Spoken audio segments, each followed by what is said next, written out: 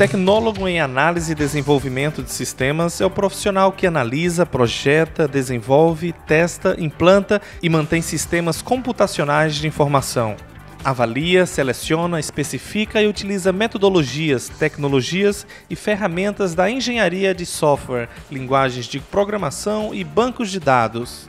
No IFPB, o curso superior de Tecnologia em Análise e Desenvolvimento de Sistemas é composto por um qualificado corpo docente. A infraestrutura contempla diversos laboratórios que irão preparar o aluno para pôr em prática as atividades do mundo do trabalho. O tecnólogo em análise e desenvolvimento de sistemas atua em empresas de planejamento, desenvolvimento de projetos, assistência técnica e consultoria, empresas de tecnologia e institutos e centros de pesquisa.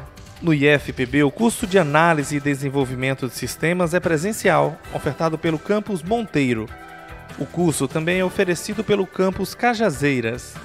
Mais informações acesse estudante.ifpb.edu.br barra cursos.